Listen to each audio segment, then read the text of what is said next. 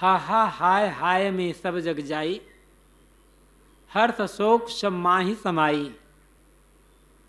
हकरी हकरी सब। बड़बड़ गयू। हा हा मर्मन काहू पयू। अक्षर के माध्यम से सदगुरु कबीर कहते हैं कि लोग हाय हाय करके संसार से चले गए। या आज जो जीवित हैं, वे भी हाय हाय करते हुए संसार से जा रहे हैं। हर शोक सब माही समाई। और संसार में सभी लोगों के मन में हर्ष और शोक समाये हुए हैं। हाय हाय में सब जग जाई। सारा संसार हाय हाय में जा रहा है। हाय धन, हाय मान सम्मान, हाय गुरुवाई, हाय महंती, हाय पुत्र, हाय पत्नी, हाय पति, हाय पिता। और ऐसे भी हाय गद्दी, हाय महंती, हाय हाय मिनिस्ट्री हाय मान सम्मान। सब जो हाय हाय कर रहे हैं, सब लोग हाय में पड़े हुए हैं। गरीब से लेकर धनपति, खरबपति तक। क्यों? हाय का कारण क्या है? तृष्णा। जितनी तृष्णा बढ़ेगी, उतनी हाय बढ़ेगी, दुख बढ़ेगा। जहाँ हमें अनुकूलता लगती है, जहाँ सुख का भ्रम होता है। बार बार उन वस्तुओं का उपयोग, विषयों का उपभोग करने का मन होता है। जहाँ अनुकूलता और सुख लगता है बार बार उपयोग होता है। बार बार उपयोग से आसक्ति बनती है। आसक्ति से फिर उपयोग और फिर तृष्णा। शुरू होता है। जिनका बार बार उपयोग होगा, तृष्णा वहीं बनती है, आसक्ति वहीं बनती है। और जिनके प्रति आसक्ति बन गई, तृष्णा बन गई, कितना भी उनको उपभोग क्यों ना किया जाए, शांति, संतोष नहीं मिलना है, तृप्ति नहीं मिलना है। और तृष्णा का राज्य सर्वत्र दिखाई पड़ता है। धन की तृष्णा है परिवार की तृष्णा है, रुपये की तृष्णा है, ज़मीन की तृष्णा है, मान सम्मान की तृष्णा है, गद्दी महंती की तृष्णा है। और कितनी तृष्णा है? खाने पीने की तृष्णा, पहनने ओढ़ने की तृष्णा, घूमने की तृष्णा, यहाँ जाऊँ, वहाँ जाऊँ, ये देखूँ, वो देखूँ इसकी तृष्णा। तृष्णा का कोई एक क्षेत्र थोड़े हैं। तृष्णा तो हर क्षेत्र में अपना स्थान, अपना राज स्थापित कर लेती है। दुनिया भर को मैं चेता लूँ। दुनिया भर को ज्ञान दे दूँ, सत्य के रास्ते पर ले आऊँ। ये तृष्णा प्रचारकों को। अच्छे ही है, चलो कि लोगों के कल्याण की कामना है। लेकिन दुनिया भर का कल्याण कौन कर सका है आज तक? अपना कल्याण किए और जो बन सका, दूसरों को सही रास्ता बताए। सभी महापुरुषों ने ये किया है। लेकिन कुछ लोग अत्यंत तृष्णा में पड़ जाते हैं। हम दुनिया भर को बदल करके रख देंगे। इसका परिणाम क्या है? हाय हाय करके दुनिया से विदा हो जाना। जिन्हें हम बदलना चाहते हैं, जिनका कल्याण करना चाहते हैं, क्या उनके मन में कल्याण की कामना है? पहले तो हमें ये समझने की ज़रूरत है। अब जहाँ पर ये नियम है भाई कि यहाँ पर सत्संग का आयोजन है, इतने से इतने समय सत्संग का आयोजन है, लोग आते हैं तो प्रवक्ता वहाँ अपनी बात बता देते हैं। लेकिन जिनको अपनी बात बता रहे हैं, वो कितनी मात्रा में किस रूप से उसको कितना ग्रहण कर रहे हैं तो श्रोता पर निर्भर है।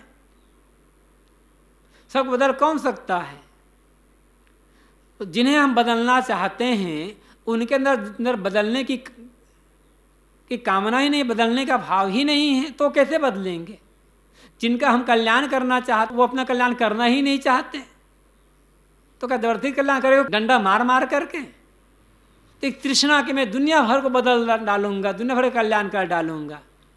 और इस तृष्णा में अपना कल्याण छूट जाता है। परिणाम क्या होगा? हाय हाय करके दुनिया से चला जाना। साहब कहते हैं, हा हा, हाय हाय में सब जग जाई। सारा संसार हाय हाय में जा रहा है। सब हाय हाय में पड़े, तृष्णा में पड़े हुए हैं। और तृष्णा का परिणाम केवल दुख, पीड़ा और कुछ नहीं है। मेहनत करें जो आदमी जिस क्षेत्र में है, उस क्षेत्र में मेहनत करें। आलसी बन करके बैठे रहने वाला आदमी कुछ नहीं कर सकता। न लौकिक क्षेत्र में आगे बढ़ सकता है, न आध्यात्मिक क्षेत्र में आगे बढ़ सकता है। लेकिन मेहनत की भी एक सीमा होती है, उन्नति की एक सीमा होती है, निश्चिम नहीं है। निश्चिम यदि हम कह सकते हैं तो आत्मसंतोष में कह सकते हैं। जिन्होंने संसार का राग त्याग दिया, संसार से जो पूर्ण उदासीन हो गए, विरक्त हो गए, और अपने आप में जो स्थित हो गए, सुरपस्थ हो गए तो एक तरह हम कह सकते हैं कि स्वरूप स्थिति निस्सीम है। लेकिन उसकी तृष्णा नहीं होती है, क्योंकि वहाँ तो पूर्ण संतोष है। संतोष नहीं है तो आत्मस्थिति कैसे है? स्वरूप स्थिति को कोई सीमा में हम थोड़े बाँध सकते हैं। उसकी इतनी सीमा है। लेकिन बाकी और क्षेत्र, भौतिक स्थिति में कोई उन्नति निश्चिम नहीं है। प्रचार क्षेत्र में कोई निश्चिम नहीं है। सबकी अपनी एक सीमा है। मेहनत करना अलग बात है। तृष्णा में पड़ जाना कि इतना ये कर लूँगा मैं, वो अलग बात है। मेहनत करने वाला आदमी हाय हाय में नहीं पड़ा रहता है। जो लोग निरंतर दौड़ रहे हैं, निरंतर दौड़ रहे हैं, खाने पीने की भी फुर्सत नहीं है, वो तृष्णा के पीछे दीवाना बने हुए हैं। और ऐसे लोग हर कितना भी धन बढ़ जाए, हाय हाय में पड़े रहते हैं। संतोष नहीं होता है। और दौड़ते दौड़ते बस दुनिया से विदा हो गए, जो धन इकट्ठा भी किए, उसका भी सुख भोग नहीं पाए। हर शोक सब माही समाई।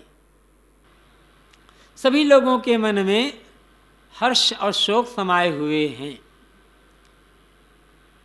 भौतिक उपलब्धि की तृष्णा में जो आदमी पड़ेगा,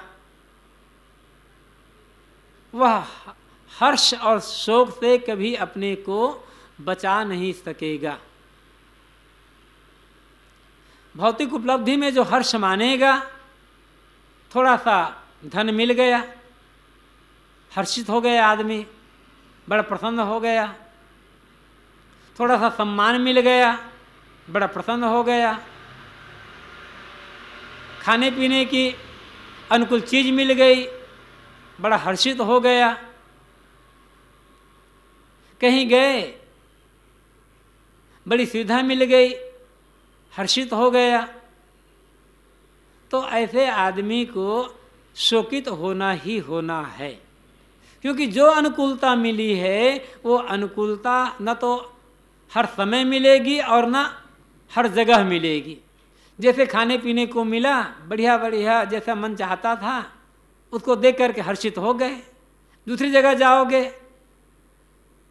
वहाँ वैसे खाने पीने की चीज़ नहीं मिलेगी तो शोक होगा और शोक ही नहीं होगा। उन लोगों प्रति गुस्सा भी होगा। ये बड़े लोग, अनाड़ी लोग हैं, समझते नहीं हैं हमारी विशेषता को। ऐसे हमारे लिए व्यवस्था करनी चाहिए। गुस्सा भी होगा। तो संसारिक उपलब्धि में जो हर्ष मानेगा उसे शोक में डूबना ही होगा। वो शोक से बच नहीं सकता। हर्ष के पीछे शोक आना ही आना है। अनुकूलता में जो हर्षित होगा, उसे शोकित होना ही होगा, क्योंकि प्रतिकूलता आएगी ही आएगी। अनुकूलता कब तक रहेगी? उन्नति कब तक रहेगी? उन्नति का अंत पतन होना ही होना है। मिलन का अंत वियोग होना ही होना है। तब आदमी शोक से कैसे बचेगा? और जो हर शोक में निरंतर डूबा हुआ है उसके जीवन में संतोष कहाँ है, शांति कहाँ है? प्रसन्नता कैसे रह सकती है? अनुकूलता आएगी, प्रतिकूलता आएगी। और जो दोनों को सहने के लिए तैयार है, किसी परिस्थिति में अपने मन को जो बाँध बाँध कर नहीं रखता है, वह हर्ष और शोक से ऊपर उठ जाता है। कहीं भी अपने को किसी परिस्थिति का गुलाम नहीं बनाना चाहिए आदमी को। जो किसी परिस्थिति गुलाम बनाएगा वो सुखी कैसे रह सकेगा? थोड़े उस, उसका मन घड़ी के पेंडुलम के समान डुलायमान होता रहेगा। ये ठीक है कि अनुकूलता संसार में हर आदमी को प्रिय है। ज्ञानी को भी अनुकूलता प्रिय होती है। लेकिन ज्ञानी अनुकूलता का गुलाम नहीं होता है। वह अनुकूलता में जी लेता है बस। उसका मन उस अनुकूलता से भी ऊपर होता है। अनुकूलता में जीते हुए भी उसका मन उससे ऊपर उठा हुआ है। इसलिए प्रतिकूलता आने पर भी वह दुखी नहीं होता। शोकित नहीं होता, पीड़ित नहीं होता है वह। संतुलित रहता है। और जो हर्ष और शोक में संतुलित है, वही तो ज्ञानी है। मिलन में, वियोग में, हानि में, लाभ में, मान में, अपमान में जो सम रहता है, वही तो ज्ञानी है। यहाँ साहब कहते हैं कि हर शोक सब माही समाई। संसार में देखता हूँ मैं कि सब लोगों का मन हर्ष और शोक में डूबा हुआ है। हर, सब लोग हर शोक में समाये हुए हैं। और इसका परिणाम जीवन भर अशांत बने रहना है। जो सभी परिस्थितियों का सामना करने को तैयार रहता है, जो जैसा आ गए, उसको स्वीकार कर लिए। तब न हर्ष होगा और न शोक होगा। अब सहज अनुकूलता मिली, सुविधा मिली स्वाभाविक ही उसमें अच्छा लगता है। तो यह कोई हर्ष की बात नहीं, उसमें उसका गुलाम होना नहीं है। हकर हकर सब बड़बड़ गयू हा हा मरमन काहू पयू। आप कहते हैं, बड़े बड़े लोग कहलाने वाले लोग, सब हकर हकर करके, हाय हाय करके चले गए। और चले जा रहे हैं। परंतु हाहा मर्मन काहू पयू। ये जो हाहा का मर्म, हाय हाय का मर्म, अपनी पीड़ा का मर्म, पीड़ा का भेद, लोग जान नहीं पाए। या आज भी जान नहीं पा रहे हैं। ऐसा नहीं है कि जो निर्धन लोग हैं, गरीब लोग, वे ही दुखी होकर के यहाँ से गए, या वही लोग आज दुखी हैं। जिनके पास खाने पीने की तो कोई चिंता नहीं है, बहुत धन भरा हुआ है, वे लोग भी तो दुखी हैं। वे भी तो हाय हाय में पड़े हुए हैं। तो ये हाय हाय का कारण क्या? धन का न होना हाय हाय का कारण नहीं है। सुविधा न मिलना ये हाय हाय का कारण नहीं है। ये दुख का कारण नहीं है। धन तो जीवन निर्वाह का साधन है। उस धन से दुख दूर नहीं हो जाता है। सम्मान मिलने से, सुविधा मिल जा, मिलने से दुख दूर नहीं हो जाता है। दुख का कारण तो अज्ञान है, तृष्णा है। और ये बात लोग समझ पाते नहीं हैं। तो अज्ञान और तृष्णा का त्याग जब तक नहीं होगा, तब तक हाय हाय दुख से आदमी बचेगा कैसे? असंतोष जहाँ है वहाँ आदमी हाय हाय से बचेगा कैसे? दुख से बचेगा कैसे? सामान्य लोग ही नहीं, जिन्हें कोई नहीं जानता। ऐसे लोग ही नहीं। बड़े बड़े पूज्य प्रतिष्ठित। दुनिया में जिनके नाम का डंका बजता रहा है, वे लोग भी तो हाय हाय करके चले गए। क्यों? कि उनके अंदर से भी न अज्ञान मिटा था, न असंतोष मिटा था। और असंतोष यही सबसे बड़े दुख का कारण है। साहब ने कहा है कि संतो, संतोष सुख है, रहु हृदय जुड़ा है। ऐ संतो, संतोष में सुख है। संतुष्ट हो जाओ तो तुम्हारा जलता हुआ मन शीतल हो जाए, शांत हो जाए, तृप्त हो जाए। लेकिन संतोष करना चाहिए, ये बात ही लोगों समझ में नहीं आती है। तो जब बात समझ में नहीं आएगी तो हाहा का मर्म लोग जानेंगे कैसे? दुख का मर्म लोग समझेंगे कैसे? तो अज्ञान, तृष्णा, असंतोष, यही दुख के कारण है और लोग इस बात को समझ नहीं पा रहे हैं। इसलिए सब के सब हकर हकर करके